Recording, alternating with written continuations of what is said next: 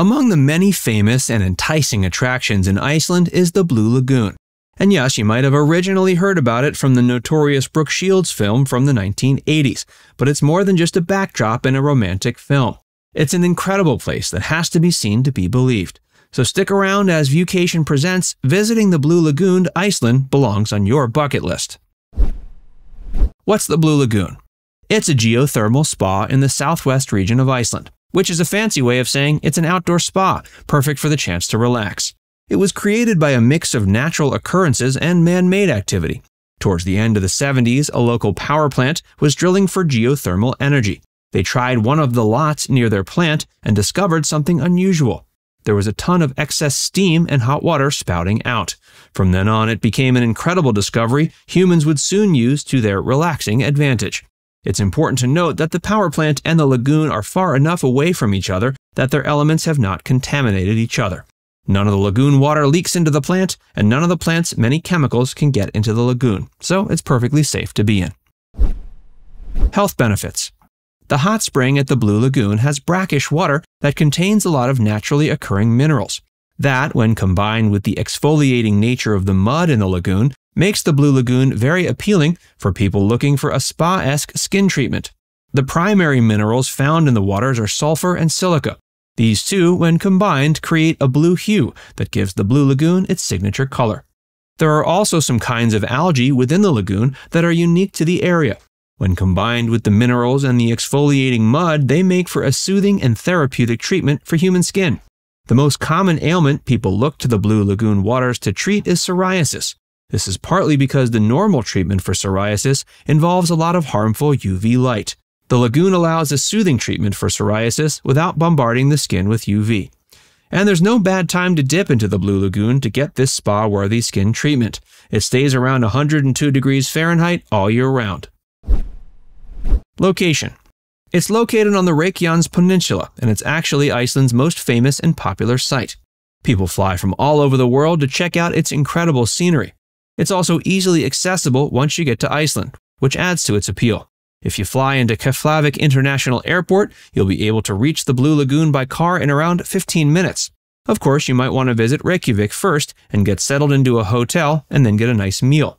In that case, you're still incredibly close to the Blue Lagoon. It's about a half an hour drive from the center of Reykjavik. Those going the rental car route will be able to jump in their rental and head right there.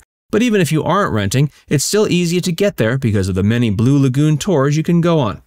Before we tell you more about visiting the Blue Lagoon, be sure to give this video a like and subscribe to Viewcation if you haven't already. When to go? If you've already flown all the way to Iceland, you surely want to make sure you hit up the Blue Lagoon at the best possible time of day. It can be disheartening to visit any big attraction and be forced to deal with more crowds than you were anticipating. You also want to visit in a way that will allow you to fully experience the hot springs. As such, we recommend going either in the morning or the evening. What's great about the morning is there's no time limit to your visit. Once you're in the spa, you can stay there all day if you like. So, going in the morning will allow you to take your time and leisurely experience the Blue Lagoon. There are also fewer people the earlier you visit. The other best option is to arrive around 4 hours before closing time. It's also a little less crowded than the afternoon and late morning, and a great way to get a relaxing soak in before you eat dinner and head to bed. Regardless of what time you visit, you want to make sure you leave yourself enough time. Anything less than two hours will be too little. Most people tend to enjoy around four hours at the spa. That's partially because it can take a little while once you arrive to check in and then go through the process of meeting the required hygiene protocols. The attraction does a good job of handling reservations in a way that it's never insanely crowded because they keep the maximum capacity at a relatively comfortable number. As far as what time of year to visit, you truly can't go wrong. But one popular time of year is winter, because the famous northern lights are visible in the sky. So people can enjoy soaking in the healing waters of the Blue Lagoon and seeing one of the planet's most incredible natural sights in the sky. Accommodations. If you'd like to stay at the Blue Lagoon rather than a hotel in Reykjavik, you have a couple of great options. For those looking for a lavish five star experience, the Blue Lagoon Retreat will be a hit. It stands next to the lagoon and overlooks it. So you can sit in your room and gaze at the wondrous natural landmark before and after actually going in. The price is steeper than most hotels in the area, but you'll get a high class experience while you're there. Getting a room there also allows you free entrance to the Blue Lagoon and the private Treat Lagoon. The hotel also offers group hikes into the nearby lava field as well as yoga classes.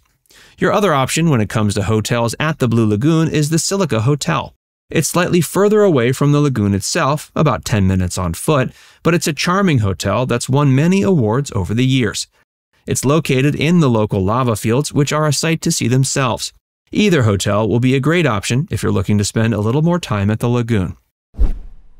Cost Prices for entering the Blue Lagoon vary a lot, depending on a few things like the time of year, the time of day, and if you're getting optional services. As of January 2022, there are three primary packages to get in. They all include entrance to the pools, the sauna, and steam room, as well as an area inside the facility for relaxation. There's the Comfort package, which runs from about $50 to $90, and you get a mud mask as well as a free drink. Then there's the Premium package, which also adds another face mask and a bathrobe. It also gets you a reservation at the restaurant inside, not to mention a bottle of sparkling wine. That runs you 85 to 110. And finally, there's the luxury retreat spa package, which is a 5-hour experience with prices starting at $430. It comes with access to a private area of the Blue Lagoon, as well as a series of spa treatments, access to the restaurant, a private area for changing, and more. We strongly recommend making a reservation, regardless of when you go and what package you choose. It books pretty far in advance, and you don't want to be stuck without a chance to get in.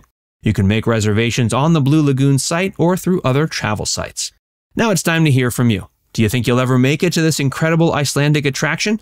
Let us know in the comments section below. And before you go, make sure you give this video a like and subscribe to Viewcation if you haven't already. Click the bell icon to stay updated on all our latest content.